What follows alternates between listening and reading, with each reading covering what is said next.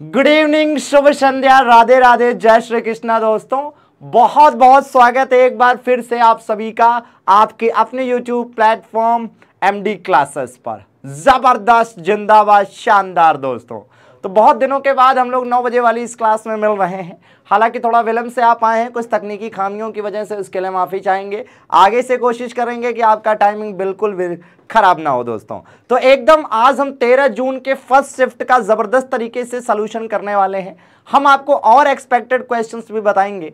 तो ये क्लास उनके लिए बहुत महत्वपूर्ण होने वाली है। जिनका कोई एग्ज़ाम आगे अभी बचा हुआ है, अर्थात 16 और 17 तारीख में जिनके भी एग्ज़ाम बाकी हैं उनके लिए ये क्लास एकदम रामबाण, एकदम ब्रह्मास्त्र साबित होने वाली है। साथ में जिनका तेरह तारीख को फ़र्स्ट शिफ्ट में पेपर था, उनके लिए भी बहुत शानदार क्लास होने वाली है, क्योंकि उन्हें एग्जैक्टली exactly एक्यूरेसी के साथ आंसर पता चलने वाला है। बाकी आशा करते हैं कि आप में से ज़्यादातर लोगों का जो, है ना एग्ज़ाम हो चुका है, सबने एकदम बिल्कुल फोड़ दिया होगा। पेपरवा खोपड़िया में छेद नहीं, सुरंग कर दिया है आपने, ये मुझे विश्वास है। तो चलिए शुरू करते हैं दोस्तों, और लेकर चलते हैं आपको पहले क्वेश्चन की ओर, जो आपसे पूछा गया। था। तो पहला शानदार क्वेश्चन था कि भारतीय संविधान में पार्ट नाइन को किस संविधान संशोधन के तहत जोड़ा गया। दोस्तों, बहुत बार हमने आपको ये पढ़ा रखा है और बहुत आसानी से मुझे विश्वास है अपने चीतों पर एकदम सही जवाब दिया होगा आपने। दोस्तों, याद करिए, हमने आपको बताया था कि भैया एक तिहत्तरवां संविधान संशोधन याद कर लेना ढंग से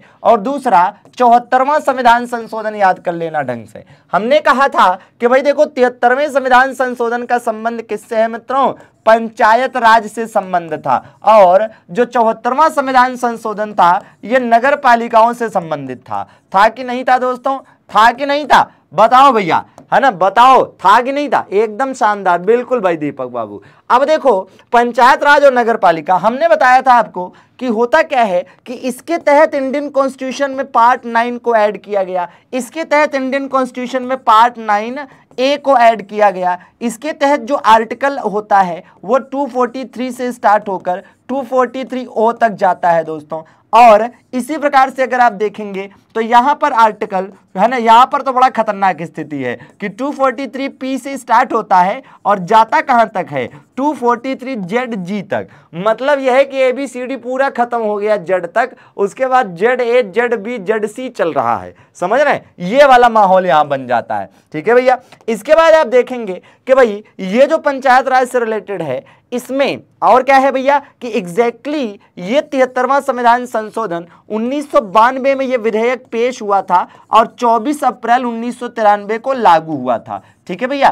पेश अगर पूछेगा तो बानवे में बानवे में विधेयक आया था, जबकि 24 अप्रैल उन्नीस सौ तिरानवे को एग्जैक्टली ये, है ना, लागू हुआ था। उसी प्रकार से चौहत्तरवां संविधान संशोधन विधेयक भी बानवे में आया था, और फाइनली एक जून उन्नीस सौ तिरानवे को जाकर इंप्लीमेंट हुआ था दोस्तों, लागू हुआ था। समझ रहे हैं? इसके बाद आप देखिएगा कि भाई, इन दोनों में ये जो मेन डिफरेंस है, वो आपको यह याद रखना चाहिए। बाकी तो और भी डिफरेंसेस हैं कि भाई, तिहत्तरवें संविधान संशोधन के तहत अनुसूची की बात करें या शेड्यूल की बात करें तो कौन सा शेड्यूल जोड़ा गया था? ग्यारहवा शेड्यूल या ग्यारहवीं अनुसूची जोड़ी गई थी। और यहाँ पर कौन सी अनुसूची या शेड्यूल जोड़ी गई थी? तो भैया, यहाँ पर बारहवीं जोड़ी गई थी। है कि नहीं? यहाँ पर आपको उनतीस विषय मिल जाते हैं? ठीक है मित्रों, और यहाँ पर कौन से मिल जाते हैं? कितने? भैया अट्ठारह मिल जाते हैं। है कि नहीं भाई? है ना? बाकी डिफरेंसेस बहुत सारे हैं। ठीक है, जैसे पंचायत राज और नगर पालिका से रिलेटेड अगर आप देखेंगे तो एक आरक्षण के मुद्दे को लेकर डिफरेंस है। है ना भैया? एक राज्य निर्वाचन आयोग को, है ना, या राज्य वित्त आयोग पहले ले लेते हैं। राज्य वित्त आयोग को लेकर डिफरेंस है, और एक राज्य निर्वाचन आयोग को लेकर तगड़ा डिफरेंस है। है कि नहीं भाई? देखो, आरक्षण मतलब रिजर्वेशन ठीक है कि पंचायत में कैसा है नगर पालिका में कैसा है। है ना? राज्य वित्त आयोग मतलब भाई स्टेट फाइनेंस कमीशन है ना पंचायत में कैसा है नगर पालिका में कैसा है? और तीसरा है आपका स्टेट इलेक्शन कमीशन। तो देखो भैया, अगर पंचायतों से रिलेटेड आरक्षण की बात करेंगे तो ये आता है दोस्तों 243 डी में। आता है कि नहीं आता है? अभी सारा कुछ आरक्षण का एकदम सफाया करेंगे, ज़बरदस्त तरीके से, बस देखते चलिए। यहाँ पर दोस्तों क्या होता है? यहाँ पर होता है आर्टिकल 243 टी भैया। कहने का मतलब पंचायतों में आरक्षण अनुच्छेद 243 डी के तहत मिलता है। है कि नहीं भैया गगन बाबू? और यहाँ पर 243 टी के तहत मिलता है। ठीक है? अब जरा ध्यान देना भैया।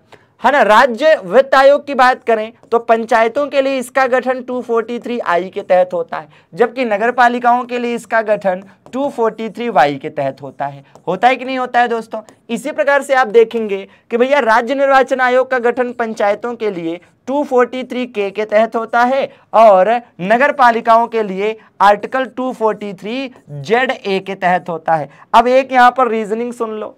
इसमें क्या रीजनिंग लगाना आप कहोगे गुरुजी? है ना? रीजनिंग इसमें क्या लगा रहे हैं? रीजनिंग ये है कि ये देखिए डी कौन से नंबर पे आता है? चार नंबर पे आता है। और ये देखिए टी किस नंबर पे आता है भैया? बीस नंबर पे आता है। तो देखो, जब हम इसमें क्या करेंगे? हम इसमें ऐड करेंगे प्लस सोलह। तो सोलह, चार, बीस। ऐसे ही आप देखिए आई क्या आता है? नाइन नंबर पे। इसमें अगर हम सोलह ऐड कर लें तो सोलह नौ कितना होता है? पच्चीस और वाई पच्चीसवें नंबर पर आता है। इसी प्रकार से के आता है ग्यारह नंबर पे। इसमें अगर हम सोलह ऐड करते हैं तो होता है सत्ताईस। कितना होता है? सत्ताईस होता है। और जेड ए जो है, ये भी छब्बीस प्लस एक। कितना होता है? सत्ताईस होता है। समझ पा रहे हैं? तो कहने का मतलब इधर से उधर जाने के लिए आपको सोलह ऐड करना है आरक्षण राज्य वित्त आयोग और राज्य निर्वाचन आयोग के मामले में। ठीक है भैया? समझ पा रहे हैं? एकदम शानदार है। चलिए भाई। हाँ हाँ एकदम शानदार। ठीक है भाई? तो एकदम ज़बरदस्त ट्रिक है। मज़ा आया। एकदम वाह वाली ट्रिक है भैया वाह वाली ट्रिक है। एकदम। चले तो भैया एकदम दबा के लाइक वाइक ठोकते चलना एकदम कोनो भी दिक्कत नहीं होनी चाहिए। हाँ बिल्कुल। प्रेसिडेंट से रिलेटेड सेक्शन 84, 85, 86 अच्छा चौरासी पचासी छियासी। नहीं तीनों से क्वेश्चन तो नहीं आता मित्र पचासी से ज़्यादातर क्वेश्चन आता है। एकदम शानदार भैया एकदम फोड़ के आए ज़्यादातर लोग। हाँ भाई तो देखो भैया अब देखो हम आपको अब आरक्षण से रिलेटेड बता देते हैं। आइए जरा आरक्षण के बारे में आपको कुछ ऐसी जानकारी दे देते हैं कि आरक्षण से संबंधित क्वेश्चन आए तो आपका जीवन में गलत ना हो। एकदम वीके का जी के अंदाज में सुनिएगा, मज़ा आ जाएगा। ठीक है भैया? मज़ा आ जाएगा। ठीक है? हाँ अब देखो, आरक्षण यहाँ पर लिख दिया दोस्तों। आरक्षण का मतलब हो गया दोस्तों रिजर्वेशन ठीक है? रिजर्वेशन की बात करने जा रहे हैं। अब देखना, सारा आरक्षण का खेल हो जाएगा आज खत्म, क्योंकि अब आपको इसके बाद यह नहीं कर पाएगा परेशान भैया। तो देखना। तो पहली बात तो यह है कि आरक्षण। दोस्तों, ऐसे सभी आरक्षण, ऐसे सभी आरक्षण जो एजुकेशन फ़ील्ड से रिलेटेड हैं। जी हाँ किसी भी प्रकार का आरक्षण हो, किसी को भी आरक्षण मिल रहा हो, अगर वो शिक्षा से किसी प्रकार से संबंधित है तो ये अनुच्छेद पंद्रह के तहत आता है। जी हाँ दोस्तों, अगर किसी प्रकार का ऐसा आरक्षण जो जॉब से रिलेटेड है, चाहे वो ओबीसी को मिल रहा हो एस सी को मिल रहा हो, ईडब्ल्यूएस को मिल रहा हो, ये सारा का सारा जॉब रिलेटेड आरक्षण किस अनुच्छेद से रहे तो अनुच्छेद 16 से रिलेटेड है। ठीक है भैया?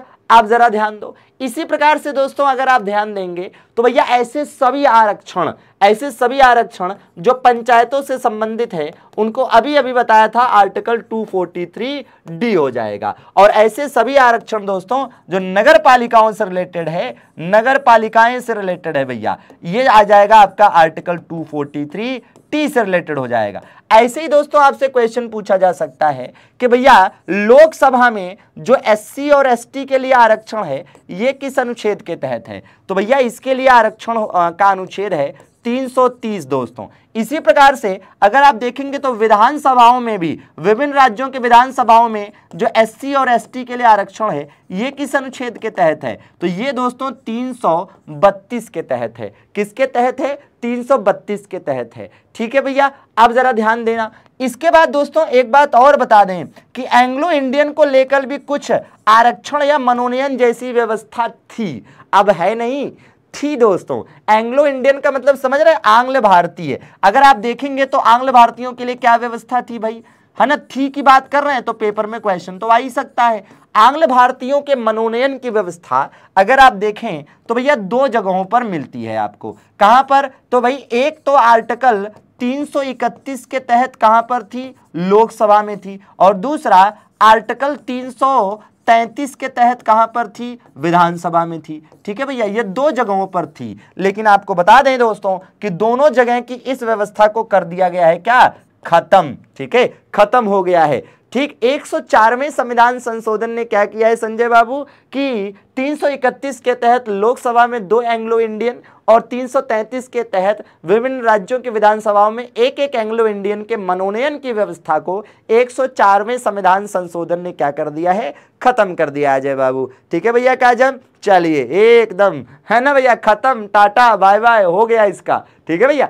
और एक अनुच्छेद बता दें। बहुत शानदार। क्या? अनुच्छेद 334 ये तो बहुत शानदार है। क्यों भैया? अनुच्छेद 334 दोस्तों इसलिए इंपॉर्टेंट है क्योंकि यहाँ पर लिखा हुआ है आरक्षण की टाइम लाइन अर्थात समय सीमा। तो इसमें लिखा है कि आरक्षण 25 जनवरी 2030 तक मिलेगा। ठीक है भैया? आरक्षण कब तक मिलेगा? 25 जनवरी 2030 तक। जल्दी आ जाएगा भैया राहुल। थोड़ा इंतज़ार का मज़ा लीजिए। ठीक है भैया? तो अनुच्छेद 334 में दिया है कि 25 जनवरी 2030 तक आरक्षण मिलेगा। आपको बताएँ, पहले यहाँ पर लिखा हुआ था 25 जनवरी 2020 फिर क्या हुआ? फिर एगो संविधान संशोधन हुआ। 104वां संविधान संशोधन 2019 वाला। और इस संविधान संशोधन ने आरक्षण की समय सीमा को 10 साल के लिए बढ़ा दिया। दोस्तों, आपको बता दें कि हर बार ऐसा होता है कि 10 साल पर 10 साल के लिए इसकी समय सीमा को एक्सटेंड कर दिया जाता है। तो मुझे लगता है कि आरक्षण से संबंधित अब तो कोई क्वेश्चन नहीं छूटेगा ना। छूटेगा कि नहीं छूटेगा?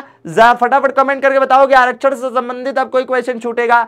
नहीं छूटेगा ना? एकदम ज़बरदस्त तरीके से समझ में आया। सारा कुछ एकदम एक ही आप स्क्रीन पे आप देख सकते हैं, सब खत्म हो गया। ठीक है भैया? हाँ। अच्छा भैया, आकाश बाबू, अरे वाह। नाइनटी अटेम्प्ट किया है, गजब, शानदार शानदार भैया। चलो, ठीक है, एकदम फोड़ के रख दो भैया। एकदम जल्दी आएगा भैया, श्री जी, जल्दी आएगा। अच्छा भाई, अगला क्वेश्चन देखते हैं। एकदम शानदार, एकदम। संपत्ति के अधिकार को किस संशोधन द्वारा मौलिक अधिकार से हटाया गया? बड़ा आसान क्वेश्चन था। दोस्तों, सबको पता है कि चौवालीसवां संविधान संशोधन जब हुआ, कब हुआ था मित्रों? 1978 में हुआ था। याद करिए कि संपत्ति का अधिकार इसके पहले कहाँ हुआ करता था? यह हुआ करता था आर्टिकल 19 एफ़ के अंतर्गत। हुआ करता था कि नहीं? और किस आर्टिकल में होता था? 31 में। फिर क्या हुआ? जब यह संशोधन हुआ तो इस संशोधन ने इसको उठाकर किसमें डाल दिया? 300 ए में डाल दिया। तो दोस्तों, पहले जो संपत्ति का अधिकार था, ये एक फंडामेंटल राइट हुआ करता था। लेकिन आज के टाइम में आप देखेंगे तो ये कैसा राइट है? एक लीगल राइट है, अर्थात कानूनी अधिकार है। तो इस बात को भी ध्यान रखना है। इस तरह के भी क्वेश्चन पूछे जाते हैं। ठीक है भैया? एकदम शानदार। ठीक है भैया? अच्छा भाई, एकदम भैया आर टू महोदय, एकदम बहुत बहुत मेहनत कर रहे हैं आप लोग। अपने भविष्य को बेहतर करने के लिए आप लोगों ने जिस प्रकार से जी जान लगा दिया पिछले दो तीन साल में, मज़ा आ जाएगा। जल्दी स्टार्ट होगा भाई युक्ति जी। साइको की क्लास का जो अनाउंसमेंट है, वो आपको 19 तारीख को देखने को मिलेगा। जैसा कि आप देख सकते हैं M D classes YouTube channel पर उसका एक शेड्यूल भी लगाया गया है। ठीक है भैया? हाँ एकदम भैया शिवम बाबू, आराम से। चलो मिलिट्री नर्सिंग सर्विस में किसे? है ना, आर्मी कोपा की नाइटेंगल अवार्ड। दोस्तों, नाइटेंगल अवार्ड का मतलब समझ रहे हैं। दरअसल में नाइटेंगल याद है आपको? नाइटेंगल एक महिला, फ्लोरेंस नाइटेंगल आपको याद है? Florence Nightingale. माना जाता है कि जो फ्लोरेंस नाइटेंगल थी, वो कौन थी? फ्लोरेंस नाइटिंगल को माना जाता है है ना? भाई, जो नर्सिंग होता है, उसका जनक माना जाता है। मदर ऑफ़ नर्सिंग कह सकते हैं एक तरह से, क्योंकि नर्सिंग के फ़ील्ड में इन्होंने ही अभूतपूर्व क्रांति की शुरुआत की थी भैया, ठीक है? ये बहुत ज़्यादा ज़रूरी है। जल्दी ही आ जाएगा साइको की क्लास, एकदम चिंता मत करिए। फ्लोरेंस नाइटिंगल, ठीक है भैया? फ्लोरेंस नाइटिंगल, याद करिए, फ्लोरेंस नाइटिंगल ने भारत के वायसराय रिपन को क्या कहा है? याद करिए, ये क्वेश्चन बहुत बार पूछा जाता है। फ्लोरेंस नाइटिंगल ने रिपन को कहा था, भारत का उद्धारक। क्या कहा था दोस्तों? भारत का उद्धारक कहा था। फ़िलहाल, चूँकि फ्लोरेंस नाइटिंगल नर्सिंग के क्षेत्र में, है ना, बहुत योगदान के लिए जानी जाती हैं, इसी वजह से फ्लोरेंस नाइटिंगल के नाम पर ही नर्सिंग के फ़ील्ड में अच्छा काम करने वालों को पुरस्कार दिया जाता है। और यह पुरस्कार किसे दिया गया है? ब्रिगेडियर एस वी सरस्वती को। किसको दिया गया है? आर्मी में यह पुरस्कार किसे दिया गया है? ब्रिगेडियर एस वी सरस्वती को यह पुरस्कार दिया गया है। नाम से देखिए भैया, नाम से बिल्कुल लगता है कि माता जी का बस साक्षात आशीर्वाद मिल ही गया। एस वी सरस्वती को ये अवार्ड दिया गया है। किसके द्वारा दिया गया है? तो भैया 2000 है ना 2020 के लिए यह सम्मान दिया गया है। प्रेसिडेंट के द्वारा इन्हें सम्मानित किया गया है। ठीक है भैया? तो राष्ट्रपति के द्वारा इनको सम्मानित किया गया है एस वी सरस्वती। ठीक है? चलिए, आगे बढ़ा जाए। और देख लेते हैं दोस्तों, एकदम शानदार। 87 अटेम्प्ट किया है भैया। अच्छा। काजम बाबू, देखो देखिए जहाँ तक अटेम्प्ट का सवाल है तो अलग अलग दिन अलग अलग लेवल में अलग अलग टाइप के अटेम्प्ट हैं सबके। किसी के 90 किसी के 100 किसी के पचासी, किसी के बयासी। ये डिपेंड करता है कि आप किस दिन की बात कर रहे हैं। मेरा ये अनुमान कहता है कि 80 से पचासी के आसपास में जो भी हैं एक्यूरेसी के साथ 80 से पचासी 80 प्लस आपका बन रहा है तो आप सेफ़ जोन में जाएँगे बड़े आराम से। ठीक है भैया? आना ये क्वेश्चन था दोस्तों, राई फोक डांस कहाँ का है? दोस्तों, राई अगर हम फोक डांस की बात करते हैं तो दरअसल में एग्जैक्टली exactly राई जो है बुंदेलखंड से संबंधित है। किससे संबंधित है? बुंदेलखंड से संबंधित है। बुंदेलखंड दोस्तों वही है जिसको प्राचीन काल में क्या कहा जाता था? जेजाक भुक्ति कहा जाता था।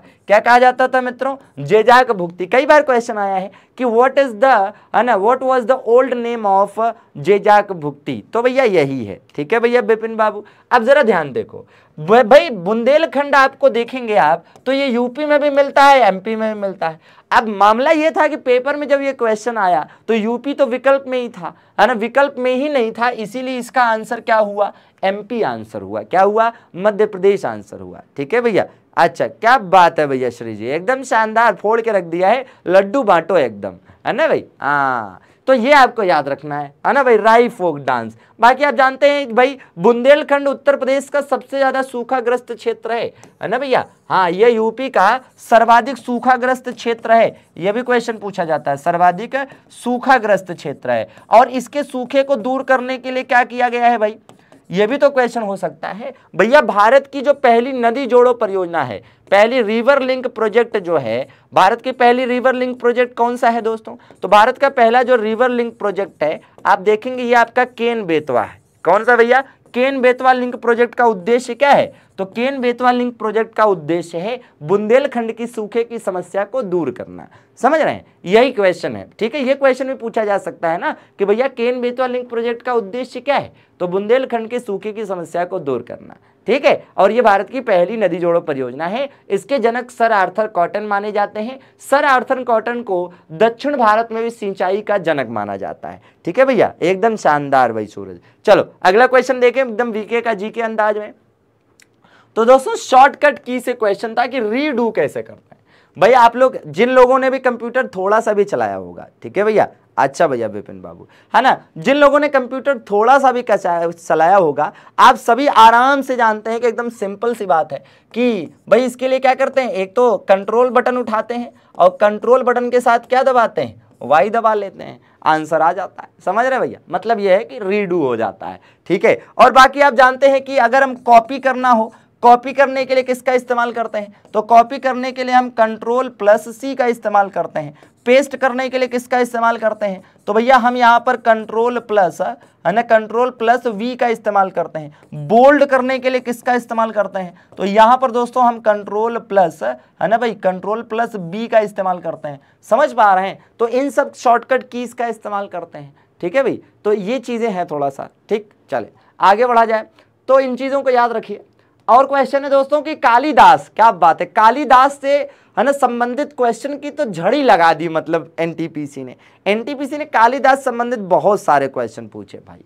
देखो, कालीदास की अगर हम बात करते हैं दोस्तों तो आप जानते हैं कि कालीदास कौन थे भाई? तो चंद्रगुप्त द्वितीय या चंद्रगुप्त विक्रमादित्य के राजकवि थे। ठीक है भैया? चंद्रगुप्त विक्रमादित्य के क्या थे ये? राजकवि थे। है कि नहीं भाई? एक तो बात ये हो गई भाई। है ना भैया? एकदम। ठीक है भाई? आप देखो भैया क्या है। तो कालिदास चंद्रगुप्त द्वितीय के जो राजकवि थे, इन्होंने बहुत सारी किताबें लिखी हैं। जैसे ये जो क्वेश्चन था, इसका आंसर मालविकाग्नि मित्रम था। मालविकाग्नि मित्रम इन्होंने लिखा, ठीक है भाई? मालविकाग्नि मित्रम इन्होंने लिखा है। अब मालविकाग्नि मित्रम किसके बारे में है भाई? तो मालविका अग्निमित्रम दोस्तों, यहाँ पर देखिए तो एक नाम लिखा है मालविका और दूसरा लिखा अग्निमित्र। तो दरअसल में इसमें मालविका, राजकुमारी मालविका और, है ना, सुंग राजकुमार अग्निमित्र की प्रेम कथा का इसमें उल्लेख है। समझ पा रहे हैं? है ना भैया? तो सुंग राजकुमार, अग्निमित्र और मालविका की प्रेम कथा का उल्लेख इसमें मिलता है। ठीक है भैया? और अगर आप देखेंगे तो एक पुस्तक है रघुवंशम। इनकी तो रघुवंशम में तो इन्होंने, है ना, भाई श्री रामचंद्र जी के वंशजों के बारे में बताया है। है कि नहीं दोस्तों? हाँ ठीक है। एकदम, और क्या क्वेश्चन भाई? और अगर आप देखें तो इन्होंने और जो बुक लिखी है, कुमार संभवम भी लिखी है। क्या लिखी है? कुमार संभवम भी इन्होंने लिखी है। कुमार संभवम। और कुमार संभव में क्या देखने को मिलता है? और एक और आपका अभिज्ञान शाकुंतलम भी तो है। अभिज्ञान शाकुंतलम। और अभिज्ञान शाकुंतलम में क्या देखने को मिलेगा?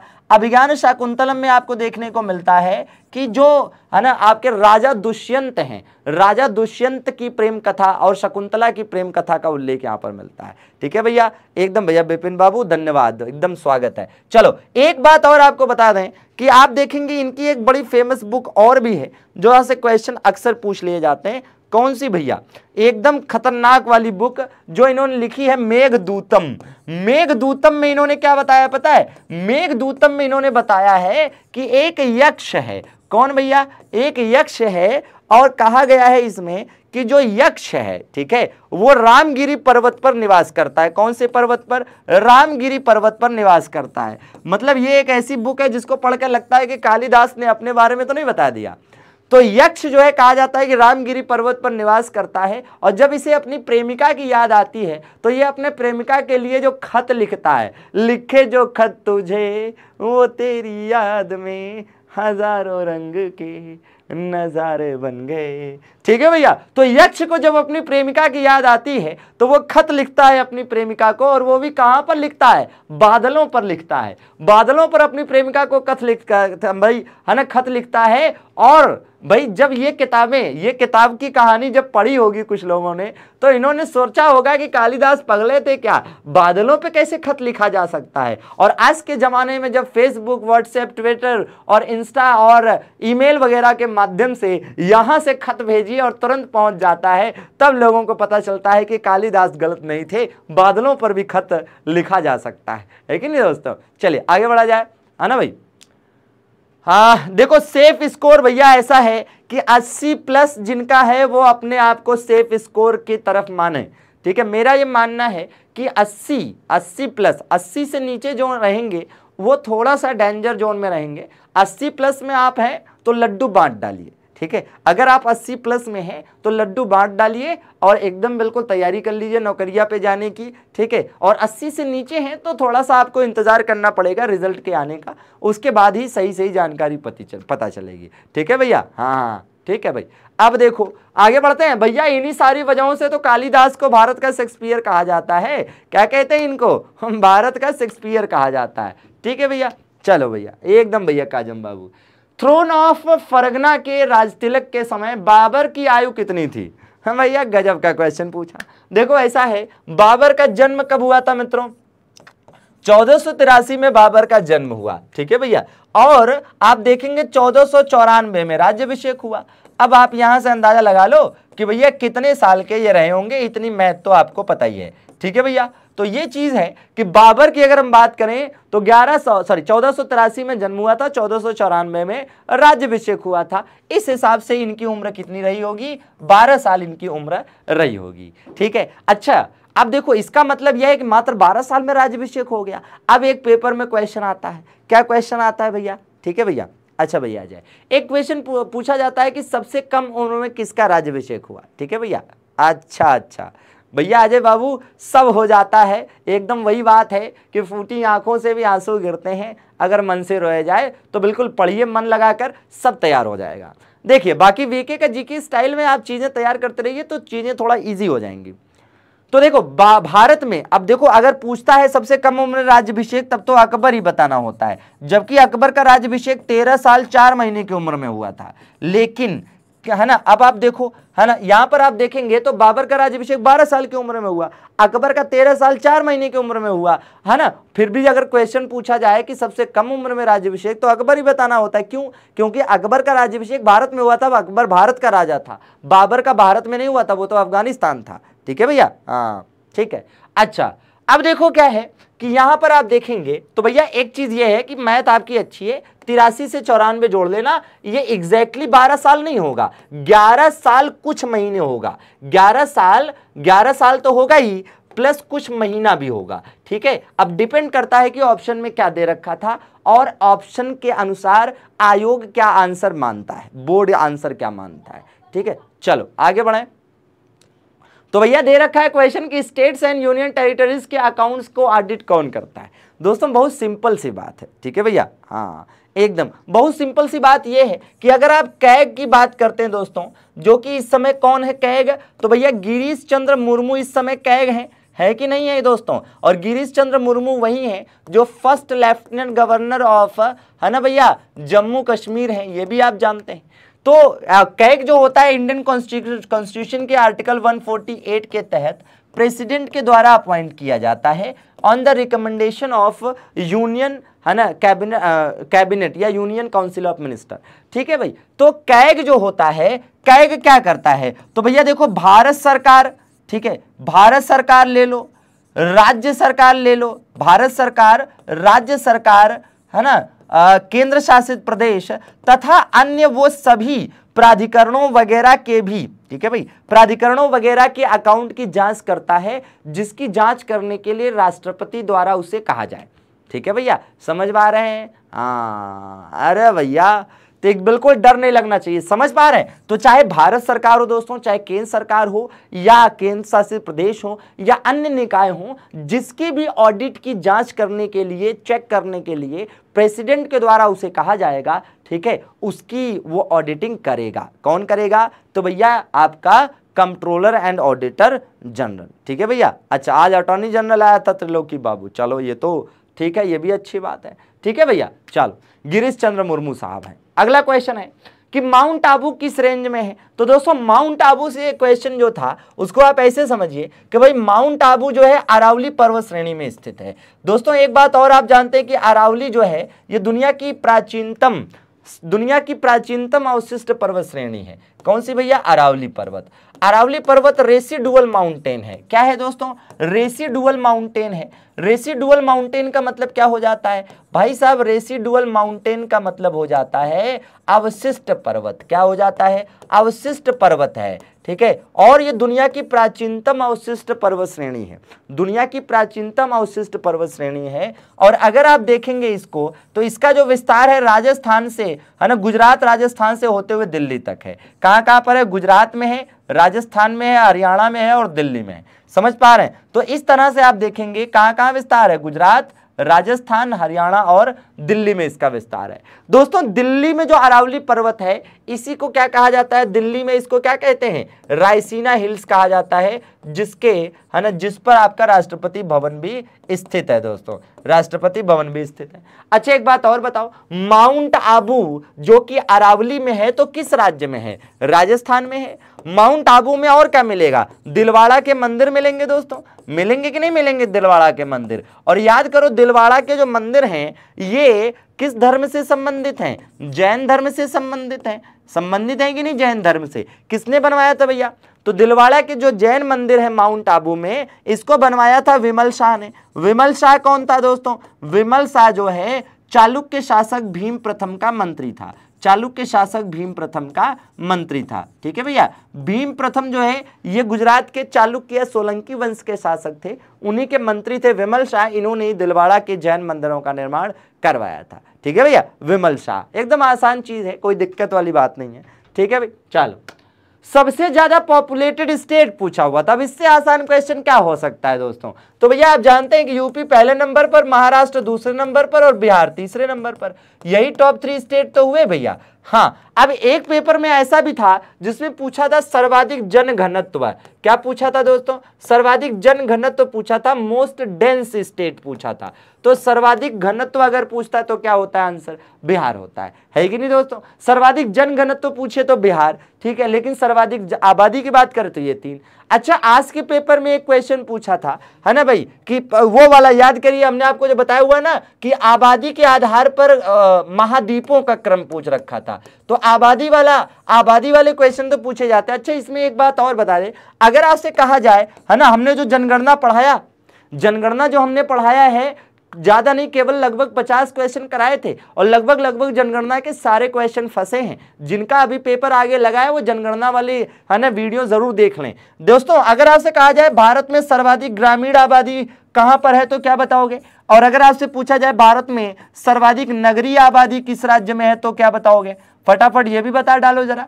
तो सर्वाधिक ग्रामीण आबादी वाला राज्य कौन सा है दोस्तों? उत्तर प्रदेश है, लेकिन सर्वाधिक नगरीय आबादी वाला राज्य कौन सा है? महाराष्ट्र है है ना भैया? और अगर आपसे कहा जाए, सर्वाधिक ग्रामीण आबादी का प्रतिशत कहाँ पर मिलेगा, तब क्या बताओगे? अगर प्रतिशत में बात करनी हो, तब क्या बताओगे? चलो ये भी बताओ। अगर दोस्तों, प्रतिशत में बात करोगे तो यहाँ पर अगर परसेंटेज में बात करेंगे तो आंसर हो जाएगा हिमाचल प्रदेश। ठीक है? और यहाँ पर अगर परसेंटेज में बात करेंगे तो क्या हो जाएगा? गोवा हो जाएगा। ठीक है? क्या हो जाएगा? गोवा हो जाएगा। समझ पा रहे हैं? हाँ। मतलब क्या है? सर्वाधिक ग्रामीण आबादी की प्रतिशतता कहाँ पर है? हिमाचल प्रदेश में है। और सर्वाधिक नगरीय आबादी की प्रतिशतता कहाँ पर है? गोवा में है। समझ पा रहे हैं? एकदम शानदार क्वेश्चन है। इसीलिए तो कहते हैं कि सर्वाधिक, है ना, नगरीकरण, सर्वाधिक नगरीकृत राज्य पूछे तो गोवा बताना होगा। ठीक है भैया? हाँ। बिल्कुल बिल्कुल भाई मुकेश, बिल्कुल। ये अगर ये सेशन देखेंगे, देखिए, आगे के जिनके भी एग्ज़ाम बाकी हैं, उनको निश्चित रूप से ये पूरा सेशन अच्छे से देखना चाहिए। ठीक है भैया? तो देखना कितना शानदार क्वेश्चन है। अब यही क्वेश्चन है परेशान करते हैं। अब देखो, एक बात और हमने आपको बताया था कि अगर आपसे कहा जाए कि सर्वाधिक हिंदू आबादी की प्रतिशतता, सर्वाधिक हिंदू प्रतिशतता किस राज्य में है? भारत में। सर्वाधिक हिंदू प्रतिशतता की बात करोगे तो क्या आंसर होगा? हिमाचल प्रदेश होगा कि नहीं होगा? अगर आपसे सर्वाधिक बौद्ध आबादी की प्रतिशतता पूछता तब क्या बताओगे भैया? तो सर्वाधिक बौद्ध आबादी की प्रतिशतता किस राज्य में है? ठीक है, सर्वाधिक बौद्ध प्रतिशतता कहाँ पर है? सिक्किम में है। कहाँ पर है भैया? सिक्किम में है। था कि नहीं था? इस तरह के क्वेश्चन थे भाई, है ना? और इसी प्रकार से अगर आप देखें तो सर्वाधिक मुस्लिम आबादी की प्रतिशतता, सर्वाधिक मुस्लिम आबादी की प्रतिशतता के मामले में कौन सा था? सर्वाधिक मुस्लिम आबादी की प्रतिशतता में कौन होगा? है ना भाई? तो इस तरह के क्वेश्चन पूछे जाते हैं। खास करके आपको हिंदू, बौद्ध और मुस्लिम याद होना चाहिए। है ना? मुस्लिम अच्छा अगर आप देखें तो इसका आंसर लक्षद्वीप भी हो जाएगा, ठीक है? अगर लक्षद्वीप आंसर में है ऑप्शन में तो इसका आंसर आपका लक्षद्वीप ही होगा। क्या होगा? लक्षद्वीप ही होगा, क्योंकि यहाँ पर लगभग चौरानवे प्रतिशत के आसपास माने जाते हैं कि हैं, ठीक है भैया? अरे भाई युक्ति जी, ठीक है तो कम से कम ये तीन तो आपको याद रखने ही चाहिए दोस्तों, ठीक है? चलो तो दोस्तों, आगे बढ़ा जाए। एक एक क्वेश्चन था द्वितीय पंचवर्षीय योजना में एग्रीकल्चर के फ़ील्ड में वृद्धि दर। ये क्वेश्चन तो ज़बरदस्ती का पूछा था, मैं कसम से बताऊँ तो ये क्वेश्चन ज़बरदस्ती का पूछा था। ऐसा क्वेश्चन नहीं पूछना चाहिए। है ना भैया? अच्छा भाई, संजय बाबू, एकदम लड्डू खाओ। ठीक है? तो ये क्वेश्चन ज़बरदस्ती का था। क्यों? क्योंकि लोग यही नहीं याद करते हैं कि कौन सी पंचवर्षीय योजना का लक्ष्य क्या था। और यहाँ पर क्वेश्चन पूछ लिया एग्रीकल्चर से। तो भैया, कहाँ याद करेगा आदमी? ठीक है, सही बताऊँ तो यूपीएससी की पीसीएस की तैयारी करने वाला बंदा तो याद करता नहीं है कि कौन सी एग्रीकल्चर का लक्ष्य क्या था, कौन सी पंचवर्षीय योजना में। और यहाँ एनटीपीसी वाले बच्चों से बोर्ड एक्सपेक्ट कर रहा है कि वो जो है कृषि का याद रखेंगे। कैसे याद करेंगे भाई? ऐसे कैसे याद करेंगे? बताइए, है ना? मुश्किल ही है ना? मुश्किल ही है। अब देखो, फ़िलहाल आपको पंचवर्षीय योजनाओं से कई सारे क्वेश्चन देखने को मिले। है ना? जैसे आपने देखा कि क्वेश्चन पूछा था दूसरी पंचवर्षीय योजना का शायद मॉडल पूछा था तो पीसी मालनोबिस मॉडल पर आधारित है। पहली वाली हेराल डोमर मॉडल पर आधारित है। वो यहाँ पर आपका है। ठीक है भैया? कौन सी पंचवर्षीय योजना पाँच साल नहीं पूरा कर पाई, ये भी क्वेश्चन पूछा गया। तो आप जानते हैं कि पांचवी पंचवर्षीय योजना पाँच नहीं पूरा कर पाई थी। गरीबी हटाओ का नारा भी आपको देखने को यहीं पर मिलता है पांचवी पंचवर्षीय योजना के दौरान। ठीक है, और यह बाकायदा पूरी लिस्ट दी हुई है। ठीक है भैया, एस्ट्रोनॉट्स स्पेसशिप में कौन सी एलगी भोजन के रूप में है ना इस्तेमाल की जाती है? ठीक है भैया? हाँ। हाँ अब देखो क्या है। ठीक है, मैं दावे के साथ कह सकता हूँ कि ये वाला जो क्वेश्चन था, इस क्वेश्चन का आंसर है ना, लाखों में शायद एकाक किसी बच्चे ने इसका आंसर सही लगाया होगा। ठीक है, एकाक कोई। तो देखो, मैं क्यों इस क्वेश्चन पर ज़ोर दे रहा हूँ? इसलिए दे रहा हूँ कि ऐसे क्वेश्चन अगर एग्ज़ाम में मिलते हैं तो आपको टेंशन लेने की ज़रूरत नहीं है। इसको, है ना, किनारे करो। ये क्वेश्चन छोड़ने के लिए आते हैं। ठीक है? देखो भैया, इसका आंसर क्या हो जाएगा? स्पायरुलीना क्या हो जाएगा? स्पायरुलीना दोस्तों। ठीक है? स्पायरुलीना ठीक है? कई लोग ऐसे भी एनर्जी के लिए स्पायरुलीना का इस्तेमाल करते हैं। ठीक है भैया? हाँ चलिए, आगे बढ़ा जाए। इसके बाद दोस्तों, अगर आप देखेंगे, है ना, इंदिरा गांधी ने गरीबी हटाओ का नारा दिया। एकदम सही बात भैया, दीपक बाबू। Copa America cup. दोस्तों, बहुत बार यहाँ से क्वेश्चन पूछा गया है। कई बार तो यही क्वेश्चन आता है कि कोपा अमेरिका कप का संबंध किस खेल से है? तो दोस्तों, कोपा अमेरिका कप का संबंध किससे है भैया? फुटबॉल से है ना? किससे संबंधित है? फुटबॉल से संबंधित है कोपा अमेरिका कप। ठीक है भाई? और ये कहाँ पर? ब्राज़ील ने जीता है इसको। ब्राज़ील ने इसको जीता है कोपा अमेरिका कप को। और कोपा अमेरिका कप को ब्राज़ील ने अर्जेंटीना को हराकर जीता है। किसको हराकर जीता है? अर्जेंटीना को हराकर जीता है। ठीक है भैया? अच्छा जब हम बात करते हैं, जब हम बात करते हैं फुटबॉल की तो फुटबॉल का फीफा वर्ल्ड कप भी याद कर लो। भैया फीफा वर्ल्ड कप से भी क्वेश्चन आ सकता है। 2018 में लास्ट टाइम कहाँ पर हुआ था फीफा वर्ल्ड कप मित्रों? रसिया में हुआ था और 2022 में कहाँ पर होने जा रहा है? कतर में होने जा रहा है कि नहीं? एकदम कतर कतर हो जाएगा। ठीक है? एकदम, बिल्कुल शानदार। ठीक है भाई? हाँ। चलिए भैया, है ना? अब देखो भैया फ्लावरिंग प्लांट से क्वेश्चन था कि फ्लावरिंग प्लांट किस फैमिली से बिलोंग करता है? ठीक है भैया, अमित बाबू, कोई बात नहीं। अच्छा आप गवर्नमेंट जॉब की उम्मीद छोड़ दी थी? अच्छा अच्छा अच्छा क्या बात है। गवर्नमेंट जॉब की उम्मीद छोड़ दी थी, फिर से उम्मीद जगी है। चलो, ये तो बहुत अच्छी बात है। और अगर ये एमडी क्लासेस परिवार की वजह से हो पाया है ये तो और भी अच्छी बात है, हमारे लिए खुशी की बात है। तो दोस्तों, क्या कहा जाता है इसको? एंजियोस्पर्म इसका आंसर होगा। क्या होगा? एंजियोस्पर्म आंसर होगा। ठीक है, बाकी, है ना, एकदम आप अंदाज़ा लगा सकते हैं कि क्या होना चाहिए। विजय बाबू, इंतज़ार। थोड़ा इंतज़ार का आनंद लीजिए। ठीक है भैया? हाँ। अब देखो क्या है।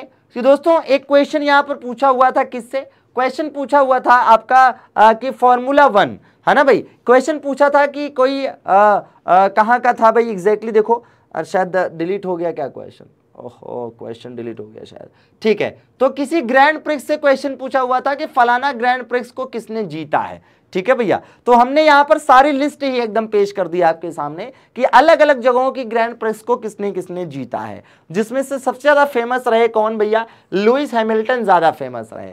लुइस हैमिल्टन जो कि मर्सिडीज कार को चलाते हैं, ठीक है? यूनाइटेड किंगडम से बिलोंग करते हैं और हाल ही में यूनाइटेड किंगडम की महारानी एलिजाबेथ सेकेंड द्वारा इनको नाइटहुड की उपाधि से भी सम्मानित किया गया है। ठीक है भैया? चलिए, अब देखो ये देखिए, जैव ईट किस आईआईटी द्वारा बनाया गया है? ये भी एक क्वेश्चन था। जैव ईट। तो आईआईटी हैदराबाद के द्वारा इसको बनाया गया है। किसके द्वारा बनाया गया दोस्तों? आईआईटी हैदराबाद के द्वारा जैविक ईट को बनाया गया है। तो ये भी एक क्वेश्चन था। एकदम भाई इंद्रजीत बाबू। चलो, और देख लो भैया, बाकी हैदराबाद से तो बहुत सारे क्वेश्चन आपको बता चुके हैं कि भाई Hyderabad tree city of the world है। इसके अलावा आप देखेंगे, यहाँ पर चार मीनार स्थित है, जिसे कुली कुली कुतुब शाह ने, है ना प्लेग उन्मूलन की याद में बनवाया था। यहाँ पर भारत का पहला महिला औद्योगिक पार्क स्थित है। यहाँ पर Indian Institute of Millets Research, I I M R, यहाँ पर स्थित है। है कि नहीं दोस्तों? हैदराबाद, तेलंगाना की राजधानी है और यहाँ की पहली महिला चीफ जस्टिस हिमा कोहली हैं। ठीक है भैया? हिमा कोहली। ठीक भाई? तो एकदम शानदार तरीके से हैदराबाद को याद रखना है। ठीक? चलिए, एकदम भाई शिवम बाबू, स्वागत है। है ना भैया? नारायण बाबू, इंतज़ार करना पड़ेगा।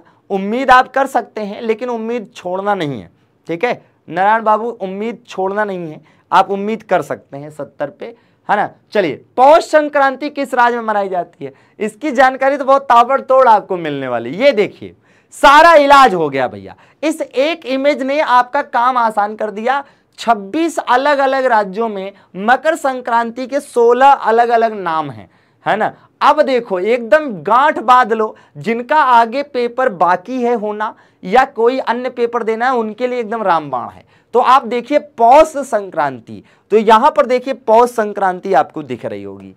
है ना भैया? पौष संक्रांति यहाँ पर आप देख सकते हैं। तो भैया, पौष संक्रांति पश्चिम बंगाल में और त्रिपुरा में कहा जाता है। मकर चौला उड़ीसा में कहा जाता है।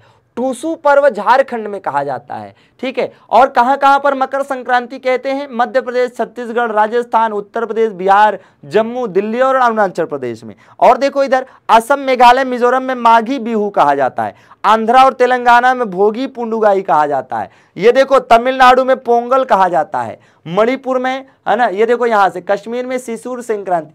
कहने का मतलब यह है कि सारा एक ही ऑप्शन में आ गया। एक ही इमेज में आ गया सब जमन एकदम ज़बरदस्त तरीके से। ठीक है भैया? एकदम भैया, एकदम भाई धोनी जी, क्या बात है। चलो। हाँ ठीक है। कोपा अमेरिका कप में अर्जेंटीना ने ब्राज़ील को हराया। अच्छा। कोपा अमेरिका में? अच्छा। ठीक है। ब्राज़ील ने अर्जेंटीना को हराया था ना? यही तो बताया कि ब्राज़ील ने अर्जेंटीना को हराया। हाँ ब्राज़ील को किसने हराया? ब्राज़ील ने ब्रा अच्छा अर्जेंटीना को हराया तो ठीक तो है, क्या दिक्कत है भाई? हैं? चलो, आगे देखा जाए भाई। अब देखो दोस्तों, इस वाले के बाद अब ये वाला अगला देख लो। ये दोस्तों, तनवा का फुल फॉर्म पूछा हुआ था। ठीक है भैया? हाँ ठीक है भाई। अब देखो, यहाँ पर तनवा का फुल फॉर्म पूछा हुआ था तो एकदम आसानी से पूरा लिखा हुआ है कि तनवा का मतलब हो गया तमिलनाडु। टी का मतलब Tamil Nadu. Tamil Nadu women in agriculture. ठीक है भैया? तमिलनाडु वुमेन इन एग्रीकल्चर तो भैया, इसको लॉन्च किया गया था, इसको इनिशिएट किया गया था 1980 में, जो एक्चुअली में किससे रिलेटेड है? To train women's in latest agricultural techniques and है ना इन ऑर्गेनिक फ़ार्मिंग है कि नहीं भाई? ऑर्गेनिक फ़ार्मिंग से आपको बहुत कुछ बता रखा है। ऑर्गेनिक फ़ार्मिंग या जैविक खेती याद करो दोस्तों। आपको बताया हुआ है कि भैया जैविक खेती सबसे ज़्यादा पूरी दुनिया में कहाँ पर होती है? जैविक खेती सर्वाधिक, पूरी दुनिया में सबसे ज़्यादा जैविक खेती कहाँ होती है? तो सर्वाधिक जैविक खेती होती है भारत में। लेकिन इससे सर्वाधिक लाभ कौन कमाता है? इससे सर्वाधिक लाभ कमाता है अमेरिका। ठीक है भैया? सर्वाधिक लाभ कौन कमाता है? अमेरिका कमाता है। भारत में पहला जैविक राज्य तो पहला जैविक राज्य अगर पूछ ले तो आप जानते हैं कि सिक्किम है। हालाँकि अगर पहला जैविक यूनियन टेरिटरी पूछ ले, पहला जैविक यूनियन टेरिटरी पूछ ले तो आंसर क्या होगा दोस्तों? लक्षद्वीप होगा। क्या होगा? लक्षद्वीप होगा। होगा कि नहीं होगा? और जैविक खेती का मतलब यह है कि बिना रासायनिक खादों के इस्तेमाल के। ठीक है भैया? बिना रासायनिक खादों के इस्तेमाल के। है ना भाई शालू जी? तो बिना रासायनिक खादों के इस्तेमाल के जो खेती होती है, उसको जैविक खेती कहते हैं। और याद करिए है ना, सर्वाधिक रासायनिक खादों का इस्तेमाल। अगर हम सर्वाधिक रासायनिक खादों का इस्तेमाल की बात करें तो भारत का कौन सा राज्य सर्वाधिक रासायनिक खादों का यूज़ करता है? सर्वाधिक रासायनिक खाद का यूज़ कौन करता है भैया? तो इस मामले में दोस्तों, अगर हम ओवरऑल बात करते हैं, है ना, कुल मिलाकर ओवरऑल बात करते हैं तो उत्तर प्रदेश नंबर वन पर है। लेकिन अगर हम पर हेक्टेयर की बात करते हैं तो पर हेक्टेयर में कौन नंबर वन पर है? पंजाब है है कि नहीं है? तो प्रति हेक्टेयर सर्वाधिक रासायनिक खादों का इस्तेमाल पंजाब में होता है ओवरऑल में कहा होता है भैया? हाँ ये आपका उत्तर प्रदेश में होता है। ठीक है भैया? एकदम भैया अशु जल्दी होगा भैया। कहाँ इतना परेशान हो? जुलाई में हो जाएगा। ठीक है? चलिए। नई औद्योगिक नीति कब लाई गई थी? दोस्तों, नई औद्योगिक नीति। एकदम शानदार तरीके से वीके का जी के अंदाज में बहुत सारी चीज़ें जानने के लिए तैयार हो जाइए और ज़बरदस्त तरीके से लाइक करते रहना है भाई। है ना भैया? अब देखो अगर आप देखेंगे तो पहली औद्योगिक नीति कब आई थी? तो पहली वाली तो 1948 में आई थी, लेकिन ये नई वाली पूछ रहा है जो ओवरऑल छठवीं थी, उन्नीस सौ इक्यानवे में आई थी। ठीक है भैया? कब आई थी? उन्नीस सौ इक्यानवे में आई थी। ठीक है? बानवे नहीं, इक्यानवे भैया दीपक बाबू। ठीक है? तो ये इक्यानवे में आई थी, पहली उन्नीस में आई थी। अब याद करिए, हमने आपको सारी प्रथम नीतियाँ बताई हैं कि नहीं? है ना? अगर आप देखेंगे तो अलग अलग फ़ील्ड की पहली राष्ट्रीय नीति हमने आपको बता रखी है। अलग अलग फ़ील्ड की पहली राष्ट्रीय नीति हमने आपको बता रखी है, इन वीके का जीके स्टाइल है कि नहीं भैया? एकदम वीके का जीके अंदाज में आपको हमने अलग अलग क्षेत्रों की बताई हुई है, जिसमें हमने सबसे पहले आपको बताया था किसका? वन के मामले में बताया था। और हमने कहा था कि देखो ओवरऑल अगर आप बात करोगे तो अठारह और स्वतंत्र भारत की बात करोगे तो उन्नीस सौ बावन में भारत की पहली राष्ट्रीय वन नीति आई थी। ठीक है भैया? पहली राष्ट्रीय वन नीति आई थी। फिर हमने कहा था कि अगर हम उद्योग की बात करें तो पहली औद्योगिक नीति कब आई थी? 1948 में आई थी। फिर हमने कहा था कि देखो, अगर हम शिक्षा की या एजुकेशन की बात करें तो अभी तक तीन आ चुकी है। और आप जानते हैं कि पहली उन्नीस में, दूसरी उन्नीस में और तीसरी 2020 में आई है नई वाली। ठीक है? इसके बाद हमने आपको बताया था कि एक जो है जनसंख्या वाली भी याद रखिएगा। जनसंख्या, भारत की पहली जनसंख्या नीति कब आई थी? 1976 में आई थी दोस्तों। और हमने कहा था कि भारत की पहली स्वास्थ्य नीति कब आई थी? तो भैया अच्छा पहले पर्यटन वाली याद कर लीजिए। पहली पर्यटन नीति कब आई थी? उन्नीस सौ बयासी में आई थी। और भारत की पहली स्वास्थ्य नीति कब आई थी? तो पहली स्वास्थ्य नीति दोस्तों आई थी उन्नीस सौ तिरासी में आई थी। कब आई थी? उन्नीस सौ तिरासी में आई थी। है कि नहीं दोस्तों? तो आप देख सकते हैं कि एकदम शानदार तरीके से सब कुछ कंप्लीट होता जा रहा है। ठीक है तो ये अच्छे अच्छे क्वेश्चन हैं आपके। और हमने ये भी बताया था कि एकदम रिसेंट में करंट अफेयर वाली भी चीज़ें बताई थी। बताई थी कि नहीं? कि भाई हाल ही में जारी की गई। हाल ही में, है ना? हाल ही में जारी नीतियाँ, हाल ही में जारी नीतियाँ। तो अगर आप देखेंगे हाल ही में जारी नीतियाँ, ठीक है, एकदम वीके का जीके अंदाज में तो कैसे होगा? भाई देखो, हाल ही में किस राज्य ने, है ना, पर्यटन नीति जारी की है? हाल ही में किस राज्य ने पर्यटन नीति को लागू किया है? तो हाल ही में पर्यटन नीति को लागू करने वाला राज्य कौन है? एक करंट अफेयर का क्वेश्चन हो जाता है। गुजरात ने हाल ही में लागू किया है दोस्तों। इसी प्रकार से देखो, हाल ही में भाई जनसंख्या नीति को लागू करने वाला राज्य, हाल ही में जनसंख्या नीति कौन लेकर आया है? तो हाल ही में जनसंख्या नीति लेकर आया है उत्तर प्रदेश। कौन लेकर आया है उत्तर प्रदेश हाल ही में जनसंख्या नीति लेकर आया है अच्छा इलेक्ट्रॉनिक्स पॉलिसी कौन लेकर आया है अभी हाल ही में इलेक्ट्रॉनिक्स पॉलिसी कौन लेकर आया है तो इलेक्ट्रॉनिक्स पॉलिसी लेकर आया अभी हाल ही में उड़ीसा लेकर आया है ठीक है भैया और याद करो इसी प्रकार से हाल ही में आईटी पॉलिसी कौन लेकर आया है तो आईटी पॉलिसी कौन लेकर आया है ये आंध्रा लेकर आया है कौन लेकर आया है आंध्रा लेकर आया है और याद करो एथेनॉल पॉलिसी कौन लेकर आया है एथेनॉल पॉलिसी कौन लेकर आया अभी हाल ही में? एथेनॉल पॉलिसी बिहार लेकर आया है। और हाल ही में चाइल्ड पॉलिसी कौन लेकर आया है? चाइल्ड पॉलिसी बताओ। तो चाइल्ड पॉलिसी लेकर आया है दोस्तों तमिलनाडु। कौन लेकर आया है? तमिलनाडु लेकर आया है। है कि नहीं दोस्तों? अब आप खुद बताइए कि क्या एकदम शानदार तरीके से, एकदम ज़बरदस्त तरीके से वीके का जीके अंदाज में है? तो एकदम है दोस्तों, खोपड़िया में छाप लो, पेपरवा में छपेगा तो आपका भी दिमाग काम करेगा, ज़बरदस्त करके आओगे भैया। ठीक है तो ये हाल ही में जारी की गई नीतियाँ हैं अलग अलग राज्यों के द्वारा। ठीक, मज़ा आया तो ज़बरदस्त तरीके से लाइक करते चलेगा। हमें भी थोड़ा सा है ना मोटिवेशन मिलेगा अच्छा लगेगा। ठीक है भैया? हाँ एकदम बिल्कुल भाई रवि, बिल्कुल। चलो भाई, आगे देखा जाए। अशोक ने अपने शिलालेखों में किस भाषा का ज़्यादातर इस्तेमाल किया है दोस्तों? बताइए भाई। तो देखो, ऐसा है, हम आपको बता चुके हैं कि जितने भी, याद करो, एक दिन हमने आपको सारी भाषाएँ बताई थी, जितनी भी अच्छे अच्छे क्वेश्चन है। है ना भैया? अरे गजब भैया जय देखो, अब आप देखो भाई, अशोक ने जितने भी, है ना ये करवाए हैं, उसमें लिपि कौन सी थी, भाषा कौन सी थी?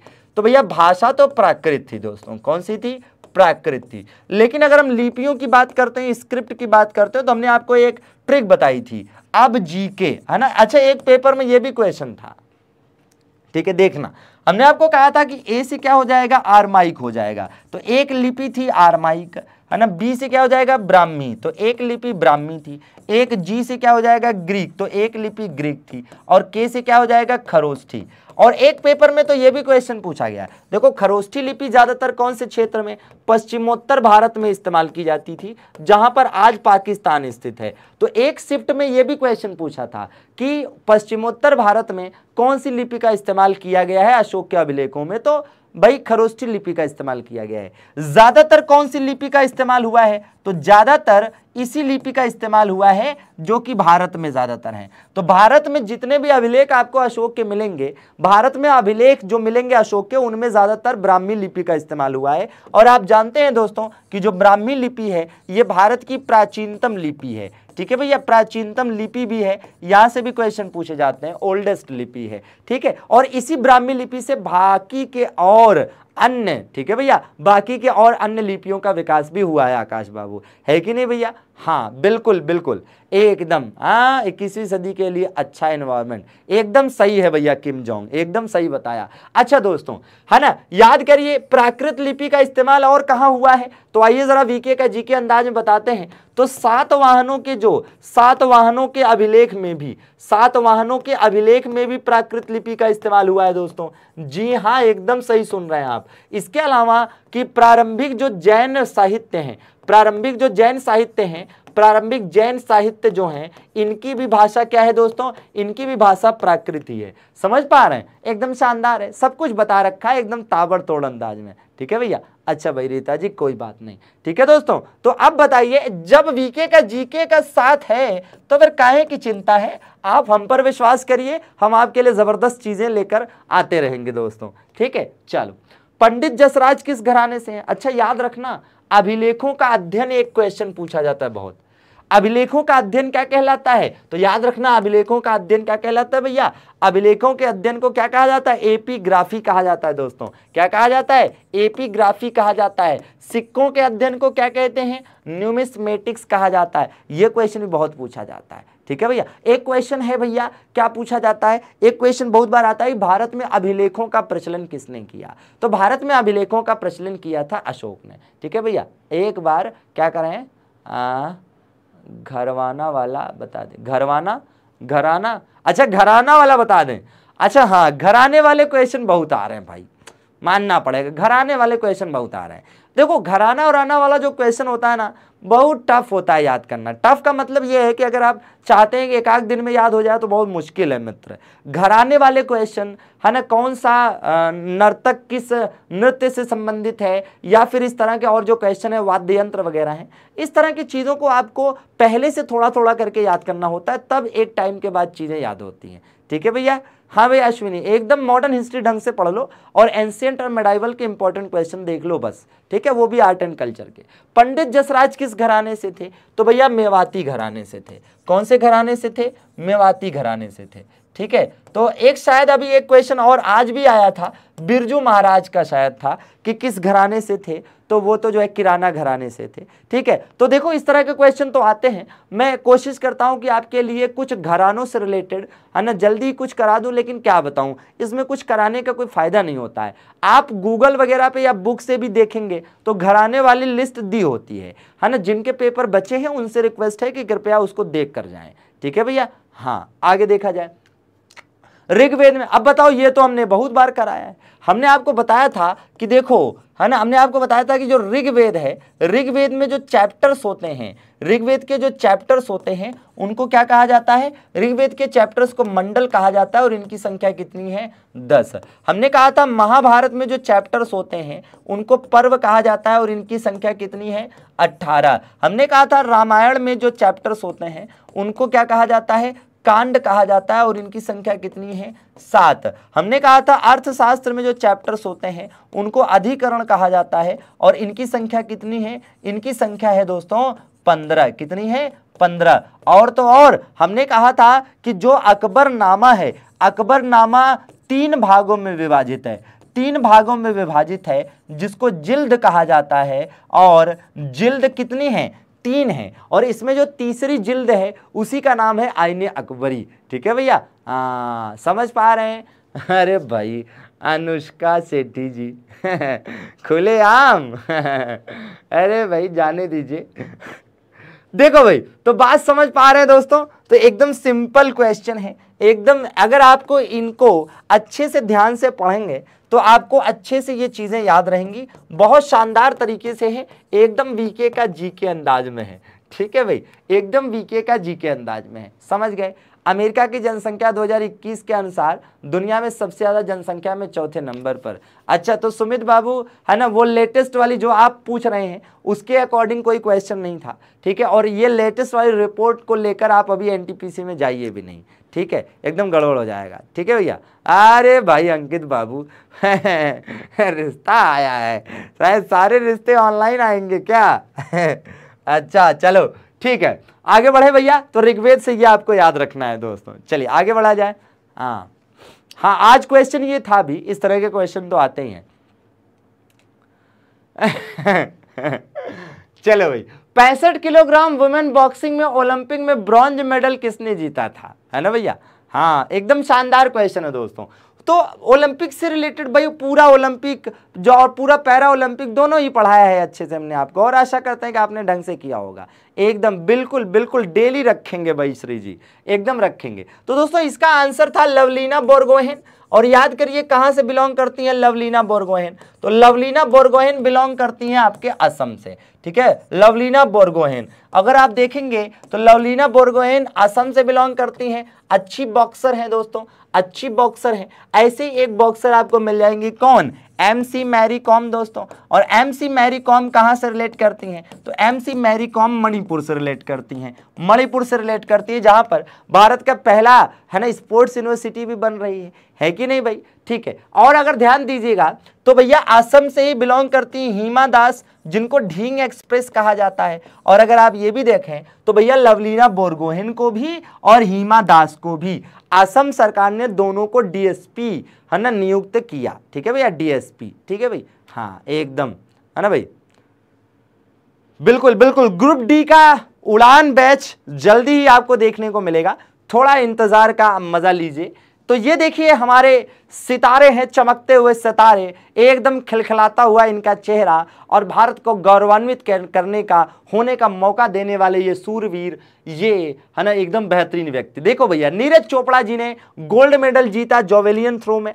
ठीक है, मीराबाई चानू हैं और रवि दहिया हैं। इन दो लोगों ने सिल्वर मेडल जीता है। इसके अलावा आप देखेंगे पीवी संधू, लवलीना बोरगोहेन, बजरंग पूनिया और इंडियन हॉकी टीम ने ब्रॉन्ज मेडल जीता। और इस प्रकार से भारत को ओलंपिक में टोटल कितने मेडल मिले?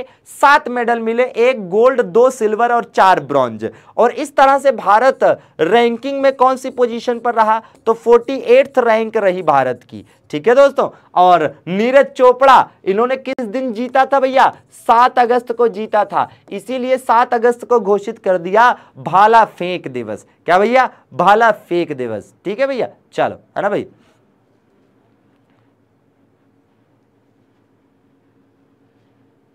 ठीक है।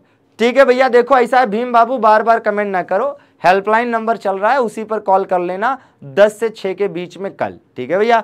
हाँ चलो, आगे बढ़ा जाए। क्वेश्चन है कि भैया I S S F shooting world cup किस शहर में हुआ है? तो भैया, ये तो आसान क्वेश्चन था, कहाँ पर हुआ? है ना भाई? तो ये दिल्ली में इसका आयोजन हुआ है। ठीक है, कहाँ पर आयोजन हुआ है? दिल्ली में इसका आयोजन हुआ है। इंडिया पहले पोजीशन पर रहा। इस वजह से शायद ये क्वेश्चन ज़्यादा पूछ लिया गया ठीक है भैया? चलो 37 डिग्री सेल्सियस को फॉरन हाइट में बदलना था। यह भी कोई क्वेश्चन था, ये तो सबको पता है कि 37 डिग्री सेल्सियस होता है। है ना भैया? 98.6 फॉरन हाइट होता है और 310 कैलविन होता है। और ये क्या होता है ये? ये दरअसल में मानव शरीर का सामान्य तापमान होता है। मानव शरीर का ह्यूमन बॉडी का, मानव शरीर का सामान्य ताप यही तो होता है। ठीक है भैया? एकदम आसान क्वेश्चन है। है कि नहीं? चलिए हाँ। बोध जातक दिलीप बाबू देखना पड़ेगा क्वेश्चन एग्जैक्टली क्या था और ऑप्शन क्या था। चलो भैया हाँ दबा के लाइक ठोंकते चलेंगे, एकदम उसमें कोई कंजूसी नहीं। सबसे ज़्यादा पॉपुलेशन डेंसिटी किस राज्य की है? तो भाई जानते हैं कि राज्य पूछे तो आंसर बिहार होगा और ओवरऑल पूछ ले तो आंसर दिल्ली हो जाएगा। और क्या ही दोस्तों? और पूरे दक्षिण एशिया की बात करें, भारत और भारत के पड़ोसी देशों में सबसे ज़्यादा जनघनत्व किसका है? बांग्लादेश का है। ठीक है भैया? सत्यशोधक समाज की स्थापना किसने की थी? ये तो और भी आसान क्वेश्चन है, क्योंकि अगर आप देखेंगे तो भैया सत्यशोधक समाज आसान क्वेश्चन है। 1873 में इसकी स्थापना की गई थी ज्योतिबा फूले के द्वारा। ठीक है, ज्योतिबा फूले के द्वारा। और याद करो दोस्तों, हमने एकदम बिल्कुल वीके का जी के अंदाज में पढ़ाया है आपको कि जैसे सत्यशोधक समाज, वैसे ब्रह्म समाज। ब्रह्म समाज की स्थापना कब हुई थी? 1828 में हुई थी। राजा राममोहन राय के द्वारा। आदि ब्रह्म समाज की स्थापना कब हुई थी? तो आदि ब्रह्म समाज की स्थापना कब हुई थी? आदि ब्रह्म समाज की स्थापना और भारतीय ब्रह्म समाज की स्थापना। इन दोनों ब्रह्म समाजों की स्थापना अठारह में देखने को मिलती है।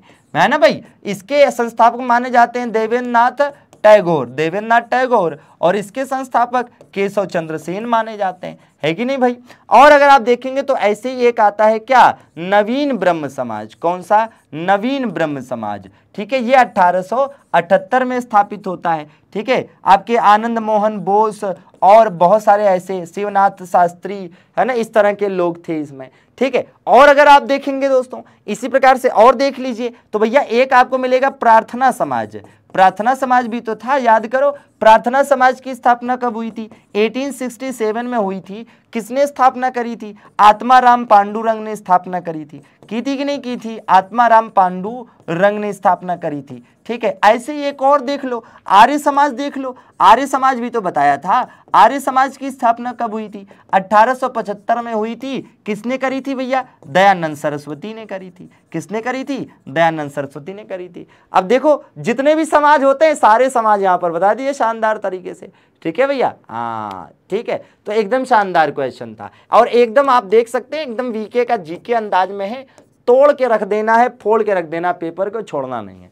एक क्वेश्चन ये भी था दोस्तों, है ना भैया? ओ माई गॉड चलो, इनमें से किस जगह पर स्टील एंड आयरन इंडस्ट्री नहीं है? तो दरअसल में चार विकल्प दिए हुए थे और पूछा था कि इसमें से किस जगह पर आयरन एंड स्टील इंडस्ट्री नहीं है। तो मैं आपके लिए एक इमेज ले आया हूँ, इसमें आप देख सकते हैं कि भारत में कहाँ कहाँ पर आयरन एंड स्टील इंडस्ट्री है। ठीक है भैया? हाँ बिल्कुल बिल्कुल। बिल्कुल। नहीं नहीं रिपीट नहीं होंगे रोहित बाबू। क्वेश्चन दोस्तों रिपीट नहीं होगा। क्वेश्चन तो नया ही आएगा, लेकिन जो पुराने क्वेश्चन बने हैं, उन पर आधारित रहेगा। तो देखिए, आप देख सकते हैं कि झारखंड में जमशेदपुर और बोकारो है, ठीक है? यहाँ पर आपका वेस्ट बंगाल में दुर्गापुर और बुर्नपुर है। उड़ीसा में राउरकेला है, ठीक है? इधर आंध्र प्रदेश में विजाग है, तमिलनाडु में सलेम है कर्नाटका में, है ना, भद्रावती है और विजयनगर है और छत्तीसगढ़ में भिलाई है। समझ पा रहे हैं? तो इस मैप के माध्यम से आपको ये दिख रहा है कि steel and iron industries India में कहाँ कहाँ पर हैं। ठीक है? दोस्तों, ये जो क्लास हमने आपको, है ना, ये जो क्लास है, इस क्लास का पीडीएफ आपको, है ना, मिल जाएगा और ये पीडीएफ आपको अच्छे से रिवाइज कर लेना है, जिनके भी आगे के एग्ज़ाम लगे हैं दोस्तों। ठीक है? तो एग्ज़ाम जिनके भी आगे लगे हैं, अच्छे से रिवाइज कर लेना। खास करके मैं आपको बताऊँ तो ये वाला पेज आपके लिए बहुत ज़्यादा महत्वपूर्ण होगा, जिनके भी आगे एग्ज़ाम बचे हुए हैं। ठीक है भाई?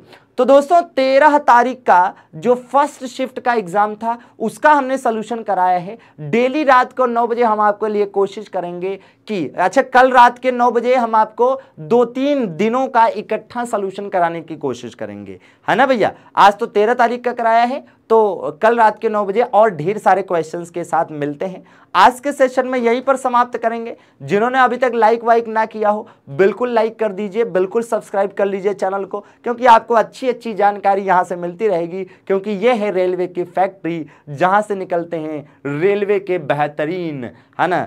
एकदम धारदार, शानदार व्यक्तित्व का जन्म यहीं से होगा। शानदार तरीके से। बहुत बहुत धन्यवाद आप सभी का जुड़ने के लिए। दोस्तों लाइक वाइक ना किया हो तो ज़बरदस्त कर देना, दोस्तों को भी शेयर भी कर देना, ठीक है? और ये पीडीएफ आपको हमारे Telegram channel MD classes official पर उपलब्ध हो जाएगा। बहुत बहुत शुक्रिया आप सभी का जुड़ने के लिए। शुभ रात्रि गुड नाइट दोस्तों। Thank you